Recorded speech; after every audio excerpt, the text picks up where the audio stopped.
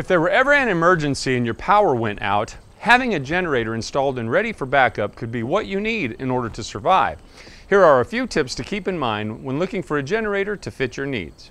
First, consider the wattage that you'll need. If you're interested in powering your entire home, you can estimate 5,000 to 7,000 watts needed. However, finding the exact amount before purchasing a generator is suggested. Research the wattage needed to run your most vital appliances. You can usually find this information in the user's manual or somewhere on the machine. Keep in mind that the numbers listed may be just an average usage amount and that they may actually require more than what is listed. After adding up your needs, you should add an additional 10% to make sure that you don't run short.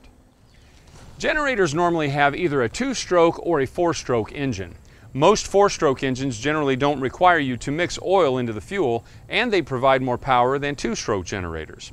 Two-stroke generators are usually less expensive, however they require more maintenance in the long run and are more difficult to fuel.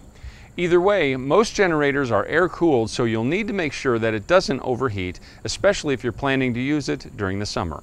There are also some extra items that you may want to consider when choosing a generator that can make them easier to own and operate.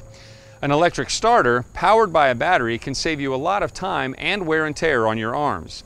External fuel gauges, oil gauges, and additionally low oil shutoffs can add a lot of life to your generator and make them much more enjoyable to use. Once you choose a generator, make sure to start it when you first buy it, then once a month afterward in order to make sure that there are no problems when you really need it. Also, be sure to never run your generator indoors and keep them away from doors and windows because their exhaust contains deadly carbon monoxide. With a little planning and preparation, you can have your own backup system in place to provide you with the power and the peace of mind that you need.